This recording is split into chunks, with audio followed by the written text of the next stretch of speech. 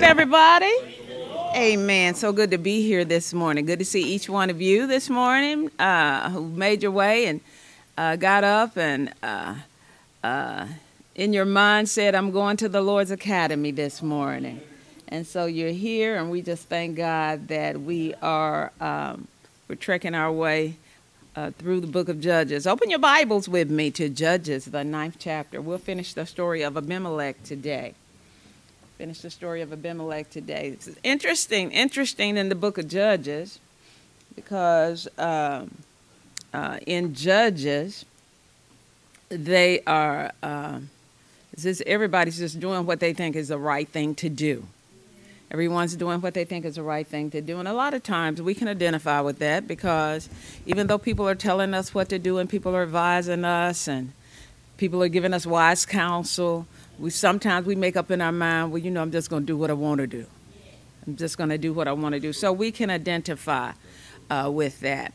In this period of Judges, however, uh, Judges is still being governed. In Judges, the Israelites are still being governed by the Lord God Almighty. But it's something in their mind that, um, you know, that they uh, have the tendency, they had the propensity to, uh, even though God was gracious to them and God was faithful to them, they would turn their back on God.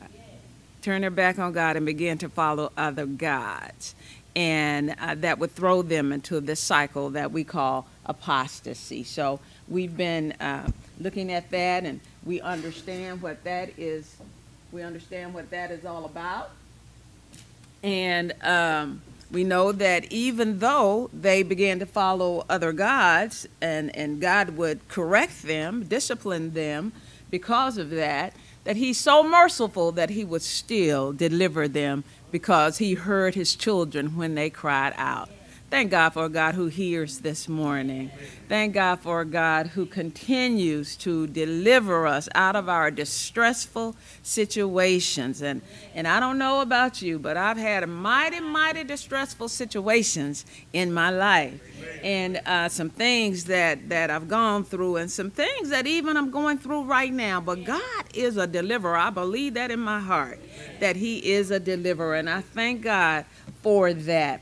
And so we're in Judges, the ninth chapter. So turn with me, please, to Judges, the ninth chapter. Now, you know, Gideon had, uh, had um, died at this time. Gideon had delivered the Israelites in a miraculous way. And we could say that God had delivered uh, the Israelites through Gideon in a miraculous way. And someone sent me something the other day and asked me, if there's still a need for miracles or did I believe in miracles. I don't know. I, I, I can't remember really what it was, but uh, I could say that there are some things that you cannot explain that you can only define as a miracle. And so, uh, uh, you know, and so uh, God is a miracle worker. God is a miracle worker. And so he delivered Israel with only 300 soldiers. Uh, and so Gideon was a hero at that time. And uh, as he was uh, settling into coming back home and, and, and, and enjoying uh, the peace that was in the land, because that's the fruit of uh, labor, of his labor, was peace in the land because they were uh, at war with the nations around them. And so now there's peace in the land. Gideon is home. Gideon is now a wealthy man because when you go into war, you get to enjoy the spoils of the people that you were in combat with. And so you enjoy those spoils. So you come back home, you're a wealthy man. Gideon had lots of children, lots of children. And we read where uh, he had, and let's look at chapter 8, verse 29. And let's just kind of connect the dots.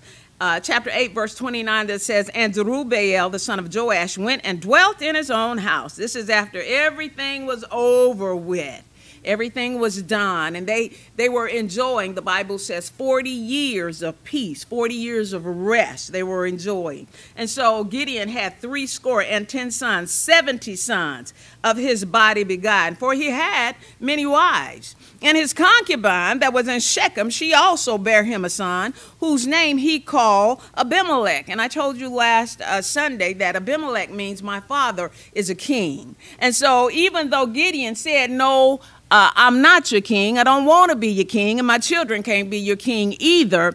Uh, the name Abimelech means my father is a king. And so what we're going to see then is Abimelech had a different mindset than his father Gideon. Abimelech wanted to be king. Abimelech had selfish ambition. Now, I want to talk a little bit about selfish ambition, or you talk to me about selfish ambition. What are some things that will uh, uh, come about as a result of a person having selfish ambition? That's a question for the body. Yes, ma'am.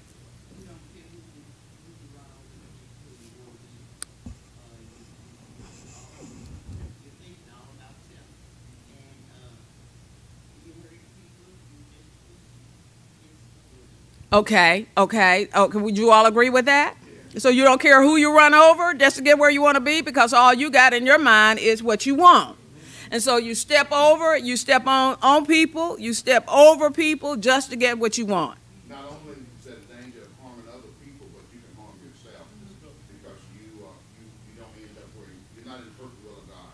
You're place. You put yourself somewhere you're really not even supposed to be. Okay, and so a lot of times then selfish ambition would cause us to jump ahead or jump out uh, of the will of God. Because sometimes when, you know, God has so much more for us. And a lot of times when we try to get it for ourselves, we mess it all the way up. You know, and then uh, what what happens is it shows up that we really, you know, we're not, we don't need to be where we think we need to be. And so God has to help us a lot of times, and we're going to see that here. So Abimelech, in his selfish ambition, he placed himself in a position that was only meant for God at that time, because God was their king. God was governing them, and they didn't need a king at that time. But in his mind, he wanted to be one. And so the Bible says, I'm still in chapter 8 and verse 33. It says, And it came to pass as soon as Gideon was dead, that the children of Israel turned again and went a whoring after Baalim and made Baal Berith their God. And the children of Israel remembered not the Lord their God, who had delivered them out of the hands of all of their enemies on every side. And so they had a problem with their memory. They had a problem remembering how every time uh, they did something, or how God would just keep delivering them time after time after time. And they had a problem remembering that it was God who delivered them and that God was still good to them. And so I want to just caution you this morning about your memory. You have your memory for a reason. You have your memory for a reason. We have to go back in our mind. We have to remember the history that we have with God. We have to remember the history that we have with God. There's not a one of us sitting in here that cannot say God has, has not been good to us.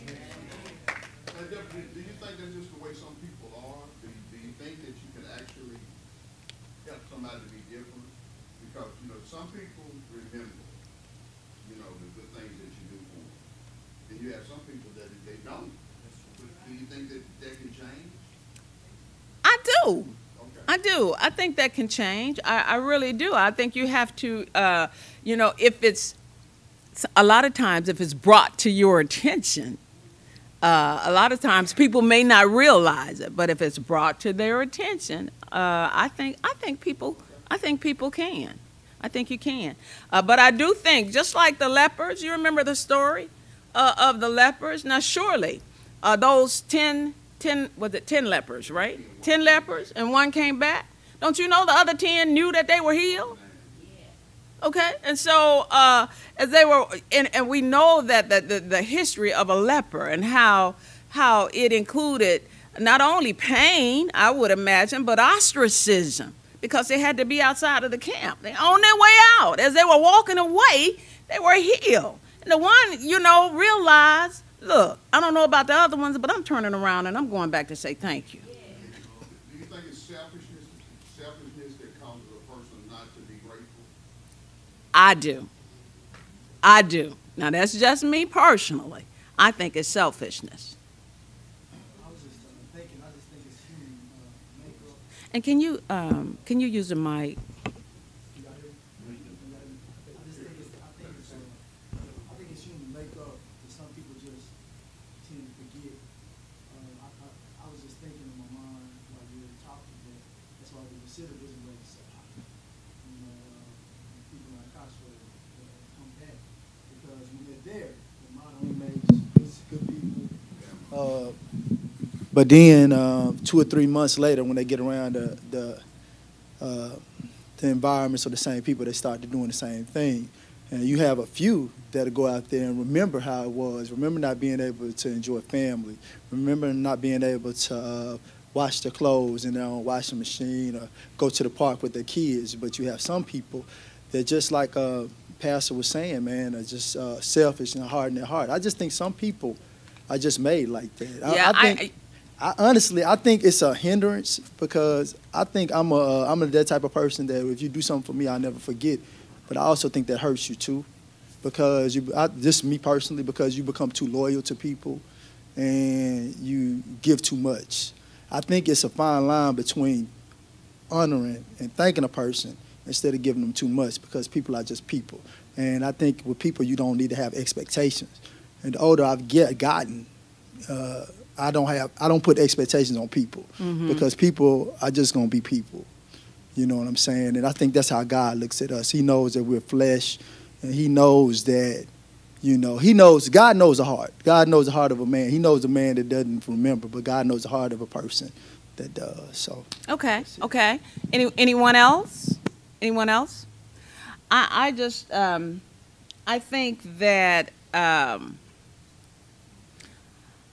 I think some people, you know, who go back in their mind and remember, you may not be able to do anything for a person because of what they did for you. You just may not have the capability to do it, but you at least have the capability to to to say thank you.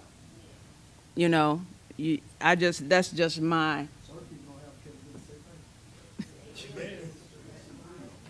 Okay. Okay. so so we get to a person, but the, the bottom line, I think, is uh, what we all were saying is that selfish ambition can cause harm. Selfish ambition can cause harm because actually it's only for you, you know, it's a good thing to have goals. It is a good thing to have goals, but when your goals cause you to run roughshod over people, uh, and then cause you to have careless disregard for other people in uh, uh, situations, then there's something wrong. And that's when you have to rein it in. So Abimelech in chapter 9, who was the son of uh, Gideon by a woman uh, of Shechem, he started a campaign to become king. He wanted to be king. And so, because his mother was a Shechemite and his father was an uh, Israelite, he went down to Shechem to his mother's people and started campaigning there to uh, have them to help him to become king. And let's look at uh, chapter 9, verse 6. And all the men of Shechem gathered together, and all the house of Millo, and went and made Abimelech king by the plain of the pillow that was in Shechem. And so uh, they they got together, and when he went to campaign with them, they said, "You know what?" Because he said, "What is it better for you that you have seventy people rule over you, or one person?" The seventy people he was referring to were Gideon's sons. So is it better for you, or the, you just to have the one, which would be me? And he said, "Because I'm a Shechemite." And then what it what it would be is because he his father was an Israelite and his mother was from Shechem. Then his campaign platform would could be then I can help both sides. I, you know, I can talking out of both sides of his neck too. I can help because the first thing he did was went to kill his brothers, so that there would be no opposition to him uh, being uh, king. And so, after the murder of his brothers, he was crowned king. But that coronation was a farce because God never ordained it. And you can believe this when God does not ordain something. Like the Bible said, if it's of God, it's gonna it's gonna be all right. But if it's not of God, it's going to come to naught. Now you might do all right for a little while, but because it wasn't ordained, it wasn't blessed by God, in the end, it's going to be nothing. It's, it's not going to be what it could have been if it had been ordained by God. And so uh, uh, his brother, his half brother, Jotham, actually uh, cursed him. Uh, on, on Mount Gerizim, which was actually the Mount of Blessing, and cursed him. Let's look at uh, chapter 9 and let's look at verse uh, 18 or 19. Verse 19 in chapter 9 says, If ye then have dealt truly and sincerely with Jerubbaal, which is Gideon, and with his house this day, then rejoice ye in Abimelech, and let him also rejoice in you. So he's talking to all of the men of Shechem in addition to um, in addition to Abimelech. But if not, let fire come out from Abimelech and devour the men of Shechem and the house of Millo, and let fire come out from the men of Shechem and from the house of Millo and devour Abimelech. And Jotham ran away and fled and went to Beer and dwelt there for fear of Abimelech his brother. Okay, so he spoke a parable, and we're going to see it as we uh, end this story today that uh, his parable is going to actually come true. Okay, so now Abimelech, Abimelech is reigning as king. God didn't ordain it, but God allowed it. And that's what God does a lot of times. He allows things to happen. He allows situations to take place. He, he allows things, obstacles, or people to be put in our place. And he allows things to happen. And, and, and in the end, it's allowed because it's all part of a Romans 8 28 experience. Everything working together everything working together. So he's just that wise. And so he's going along as king, even though it wasn't ordained. Uh, when uh, in, in uh, chapter 9, verse 22, look at that with me. So after three years, he had relatively good success, uh, but he found himself in trouble. And so, again, be careful. Be careful how you get someplace.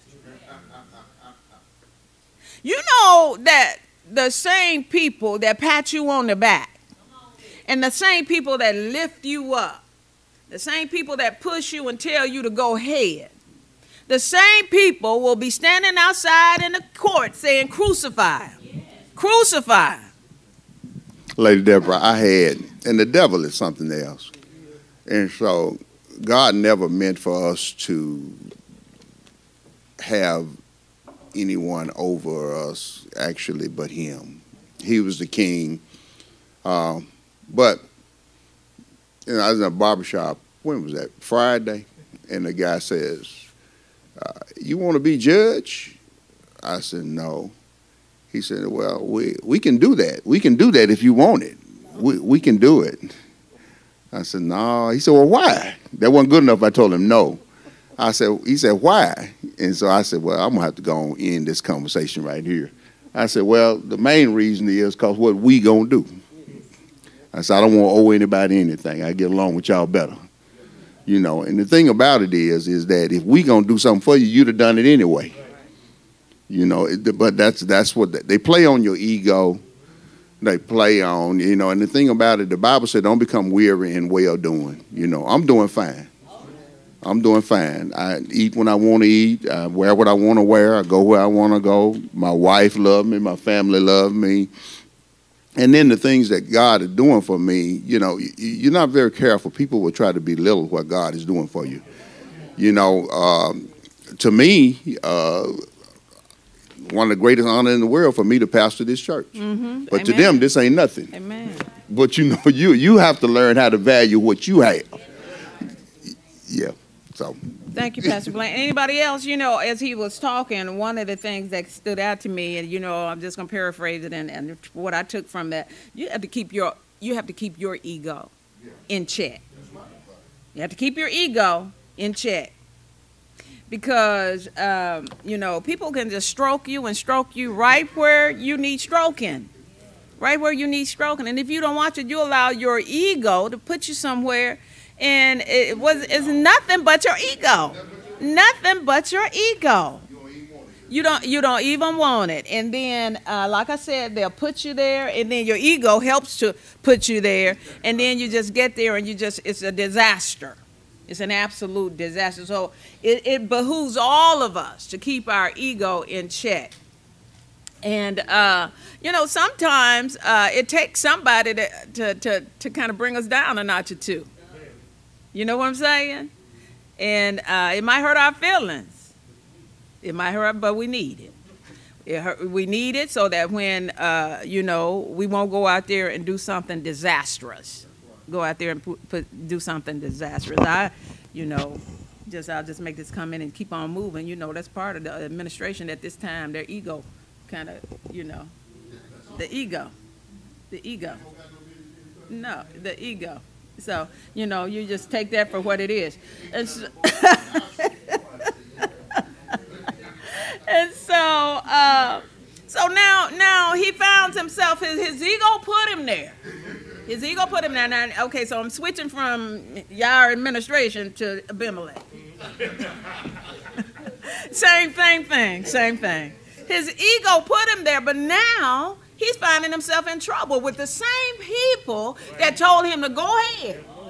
Told him to go ahead. That now, but, but here's the kicker on this God sent an evil spirit between Abimelech and the men of Shechem, and the men of Shechem dealt treacherously with Abimelech. God has a way of using whomever he wants to to help bring us back to where we need to be. He did it with Pharaoh. He did he did it. He just he, he just used that. He he will use whatever he has to to bring us, you know, to open up our eyes, to help us to see. And so that's what he did with Abimelech because Abimelech had dealt treacherously with his half brothers. He killed them for no reason. He killed them for no reason. And the men of Shechem joined with him to kill them for no reason, all because of his selfish ambition. And so, uh, verse 24 says, he dealt treacherously with Abimelech, that the cruelty done to the threescore and ten sons of Jerubbaal might come, and their blood be laid upon Abimelech their brother, because God does not forget. God doesn't forget. And their blood had to be avenged. And so this is God's way of avenging the blood of those innocent men. It says, um, and upon the men of Shechem, which aided him in the killing of his brethren. And the men of Shechem set liars in wait for him in the top of the mountains, and they robbed all that came along that way by them. And it was told Abimelech. Okay, so uh, what happened here was they they they began to rob. This, this was a way for people to come in to where Abimelech was. Okay, and so you know if you can picture it in your mind, they had caravans coming in, and the caravans coming in, they're bringing they're bringing supplies, they're bringing stuff that that you need, and they're coming into the city, but you got people waiting there, kind of like in ambush form, that's robbing them before they could get to the city. And so if they're robbing them before they can get to the city, ain't nothing they can do to help Abimelech when they get to the city. They can't come in and spend money. They can't make revenue, in other words. You, you see what I'm saying? And so um, also, this would make Abimelech seem like an ineffective king. If you got people outside, it's kind of like the crime in the city right now in, in the city that we live in. You know, it's just running rampant. It's running rampant. Over in Memphis, the crime is just running rampant.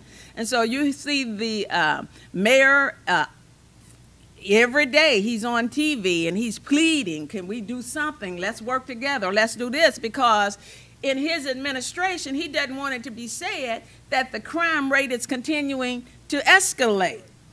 And so that's what it would be for Abimelech. You got these people out here, they robbing everybody. What kind of king are you if they started robbing people before they get into the city?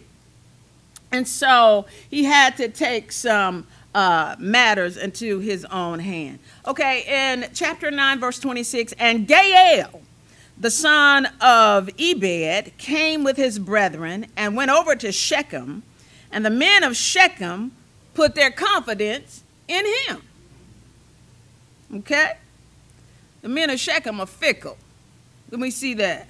They're being led around by their nose. Or, you know, some people, anybody who's up front, that's who people will, you know, want to be with. They may not be the anointed one, but that's who they want to be with because they want to be wherever, you know, if it's, everything's going okay. And they went out into the fields and gathered their vineyards and trode the grapes and made merry and went into the house of their God. And we know if it's their God, it's not our God. and did eat and drink and cursed Abimelech, the same men, the same men he campaigned to that put him in office. They cursed him. And Gaal, the son of Ebed, said, Who is Abimelech? And who is Shechem, that we should serve him? Is not he the son of Jerubbaal? And Zebul, his officer, served the men of Hamor, the father of Shechem, for why should we serve him? Kind of like, you know, gathering up, uh, uh, gathering up a wolf pack, okay? But remember again, God is causing this breach between them to avenge the blood of those innocent men, uh, Gideon's brothers, who were killed. And so it's all going to play out. And would God, and would to God this people were under my hand. Then would I remove Abimelech. And he said to Abimelech, Increase thine army and come out. Increase thine army and come out. And so he openly criticized Abimelech's administration.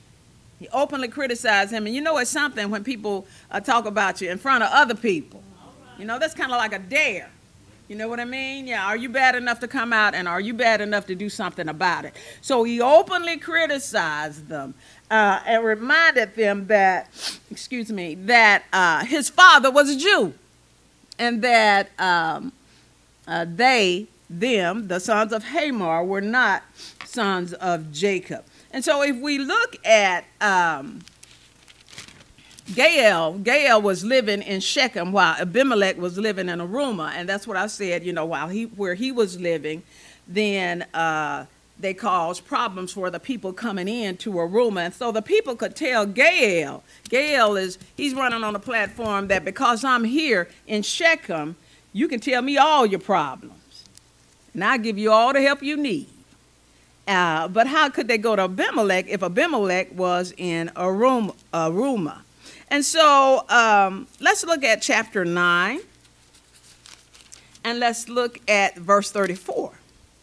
And Abimelech rose up and all the people that were with him by night, and they laid wait against Shechem in four companies.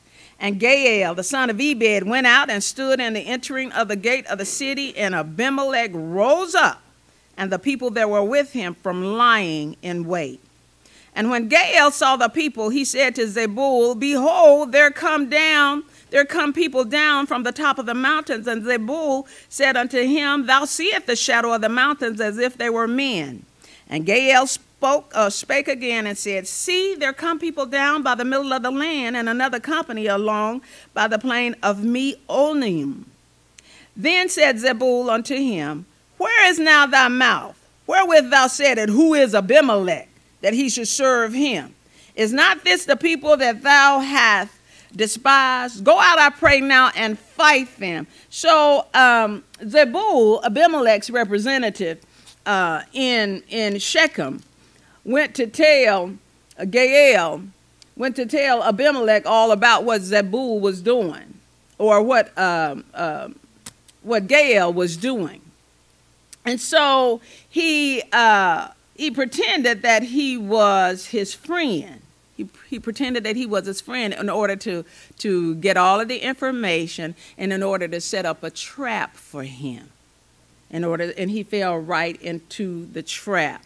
And so uh, let's look at verse 41. Are you there? And Abimelech dwelt, I mean, uh, Judges 9, verse 41. And Abimelech dwelt at Arumah, and Zebul thrust out Gaal and his brethren that they should not dwell in Shechem. And it came to pass on the morrow that the people went out into the field, and they told Abimelech. And he took the people and divided them into three companies, and laid wait in the field, and looked, and behold, the people were come forth out of the city. And he rose up against them and smote them. These are the people of Shechem. And Abimelech and Abimelech and the company that was with him rushed forward and stood in the entering of the gate of the city. And the two other companies ran upon all the people that were in the fields and slew them. And Abimelech fought against the city all that day. And he took the city and slew the people that were therein and beat down the city and sold it with salt. And so he is, uh, you know, he's getting them back for what they did not for not remembering what he had done. You see how people are? You know, we always concerned about what everyone does to us. We never in our mind go back to what we did to other people. You know, I, you know, yeah, we do. Never think about the hearts we've broken. Never think about the torment that we've caused. You know, never we never think about what we've done, but we always want to say what you know. Oh, you know how people have mistreated us, and every one of us has been guilty of mistreating somebody. Every one of us, and so he had this score to settle uh, with the citizens of Shechem who had cursed him and, and the ones who were attacking the caravans and robbing them of uh, money and robbing him of his reputation. And so they went out to work in the fields. He set up an ambush and he blocked the city gate and he slaughtered. He slaughtered the citizens. He slaughtered them. They were trapped. They couldn't go anywhere. And afterwards, he sowed salt all over the city. Now, when you sowed salt over a city, what you were doing is condemning the city. You were condemning the city because uh, that would mean that the city would be desolate and no one would want to come to it. I mean, it wasn't going to come to nothing. So you sow salt all over it. That means, you know, you're really, you're cursing or you're damning that city. And so uh, here we get to a point where we look at it says, and let's go to uh, chapter 9.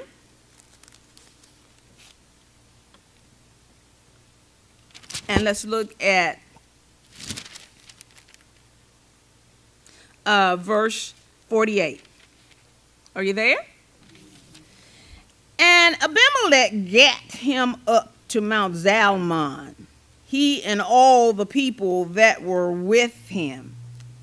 And Abimelech took an axe in his hand and cut down a bough from the trees and took it and laid it on his shoulder and said to the people that were with him, What ye have seen me do, make haste and do as I have done.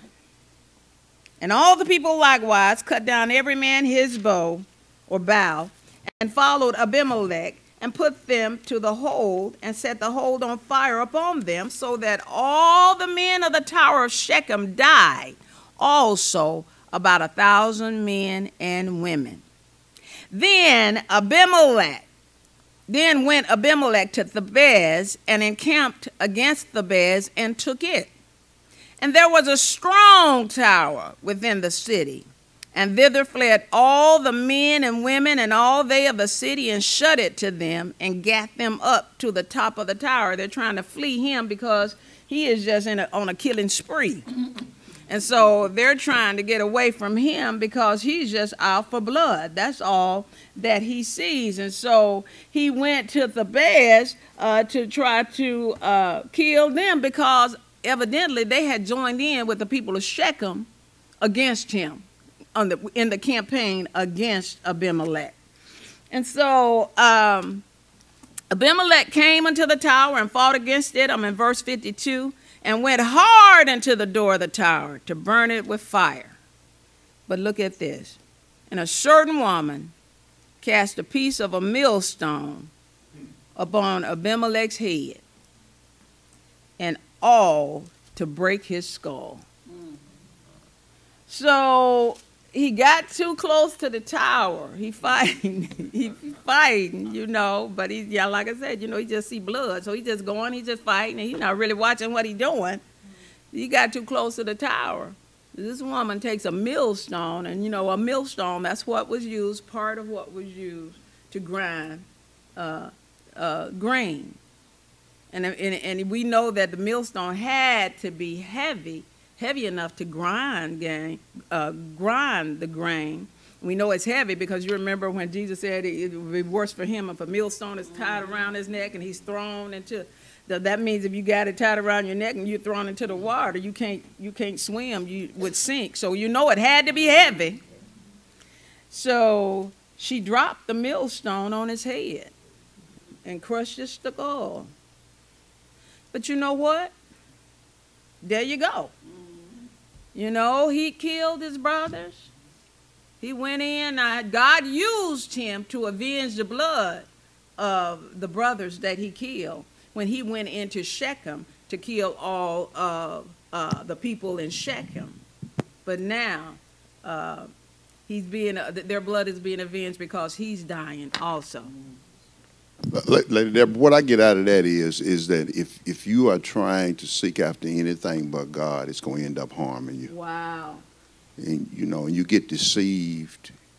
You know, we were talking yesterday, remember, about uh, how people shy away from Bible study and Sunday school, and that's because Satan keeps them away from the knowledge of God. You know, we, we look for sensational stuff. We look for stuff that's going to uh, excite us and, and everything when we need something that's going to calm us down, something that's going to put us in, in the right direction. And really, what, what I get out of that, and it, I'm, don't get me wrong, I know it's a hard thing mm-hmm. because naturally so we want stuff that's going to make us feel good. We want folks to pat us on our back. We want to be a big deal and whatever. But really, what's going to make me happy, what's going to give me a, a fulfilled life, is what God gives me. Mm-hmm. Not what I want. Not what I want, but what God gives me is, is going to. And, and that's just, uh, that's not easy because my flesh, I, I want what I want. And I want it right now. So uh, that's helpful for me. Thank you. God bless you. Anybody else?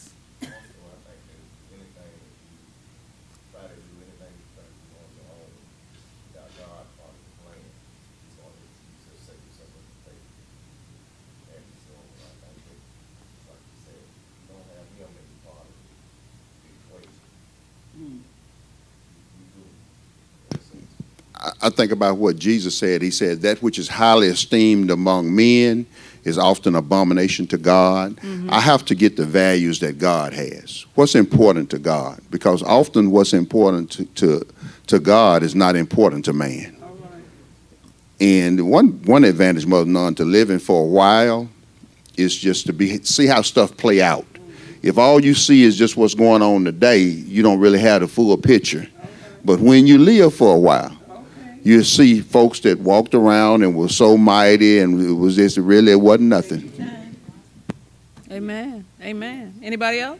Anybody else?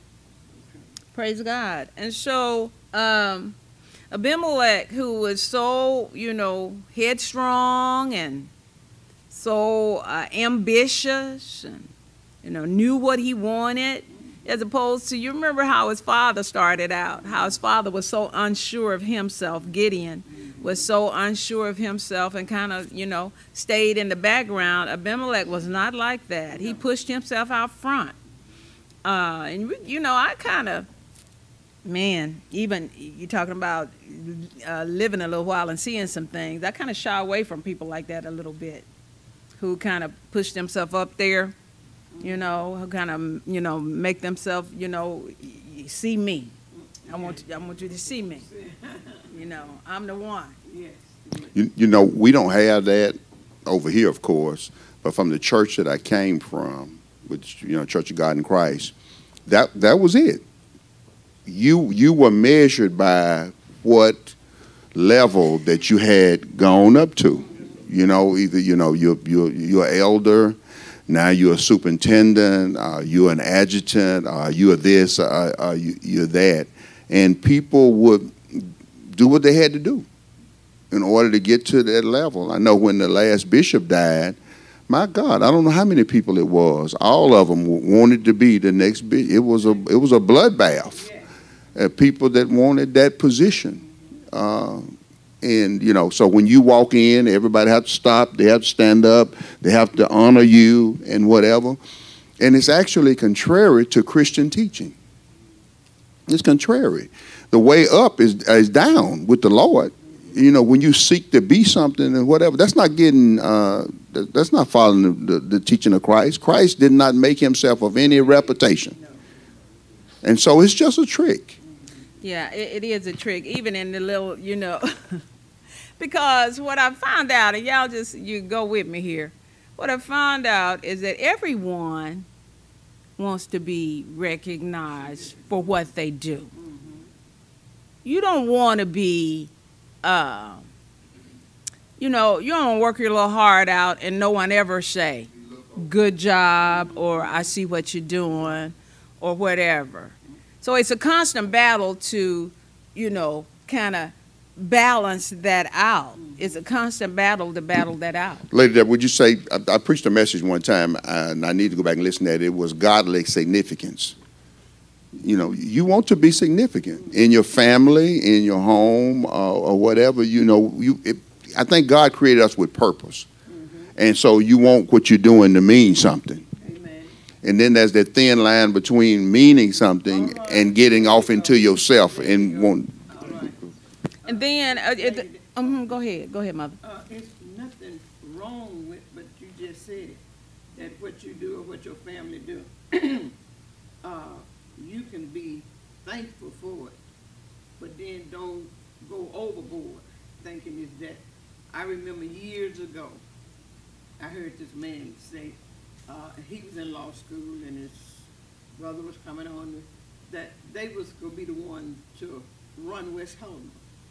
Well, you may have this and that, but God is the one that will stop you to let you know, no, you're not gonna run nothing.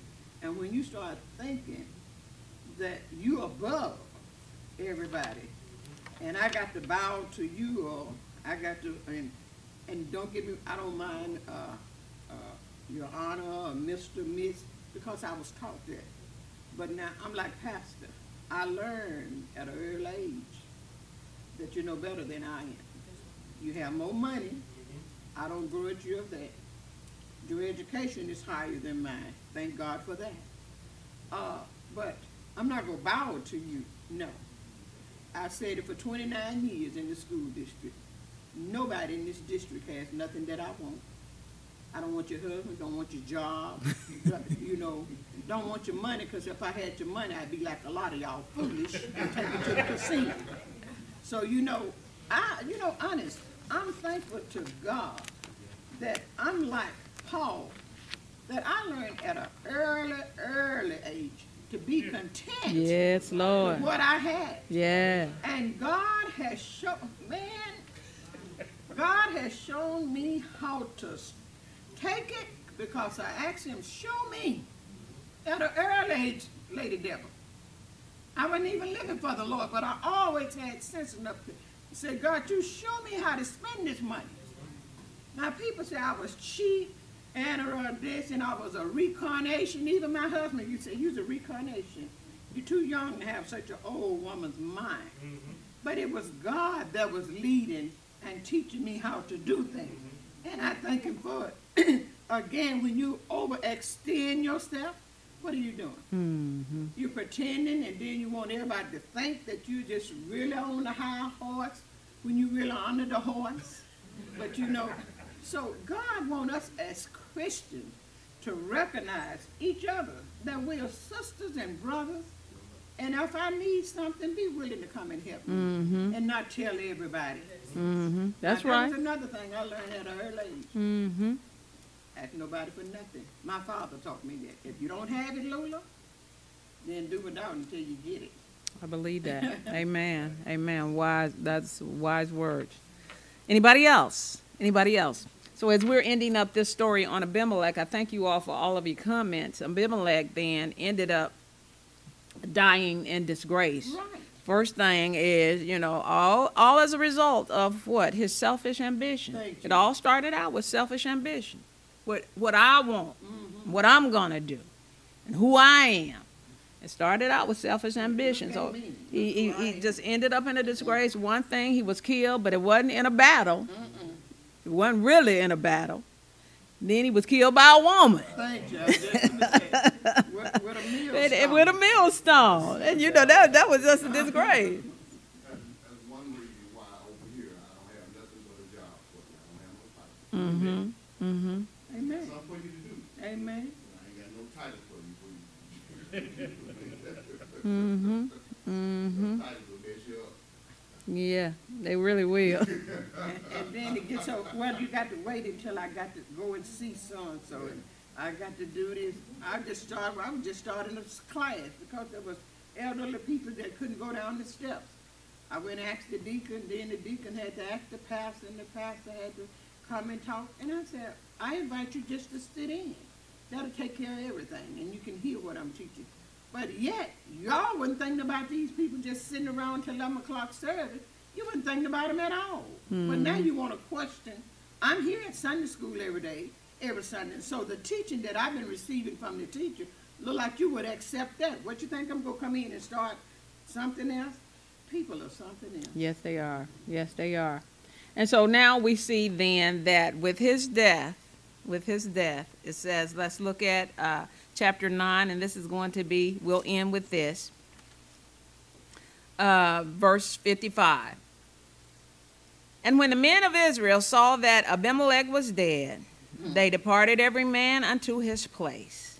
Thus God rendered the wickedness of Abimelech, which he did, unto his father in slaying his seventy brethren. And all the evil of the men of Shechem did God render upon their heads, and upon them came the curse of Jotham, the son of Jerubbaal. So everything that he uh, said, or you know, basically prophesied about it, all came to pass, and God was still the victor in the end. So he was king, but he, but but he really wasn't a king, and it didn't do him a bit of good. It ended in his disgrace, and it ended in his death. And so next Sunday, what we're going to do is pick up in chapter 10 and continue our study through Judges. Give the Lord a hand praise, everybody. Amen.